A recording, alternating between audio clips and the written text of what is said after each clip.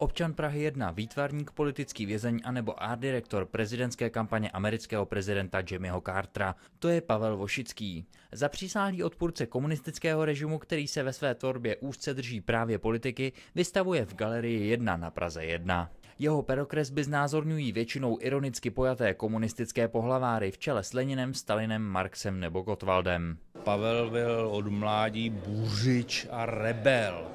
A takže se taky dostal poměrně záhy do kriminálu. Komunismus bylo náboženství bez toho pejorativního přídomku opium lidstva. Na konci 60. let se Pavel Vošický dostal do Spojených států a ani tady se nepřestal věnovat uměleckému zpracovávání politiky.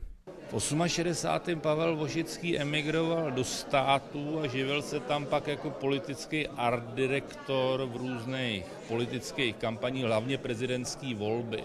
Byl tedy eh, aranžérem voleb Jimmyho Cartera.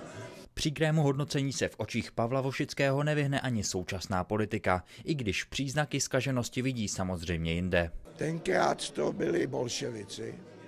Jejich generální linie, jejich ideologie. Dneska bohužel to je politická korektnost a já vám něco řeknu. Já nevidím rozdíl mezi tou komunistickou ideologií a politickou korektností. Vstup do galerie 1 na rohu Štěpánské a ulice v Jámě je zdarma. Výstava tady bude až do 20. dubna.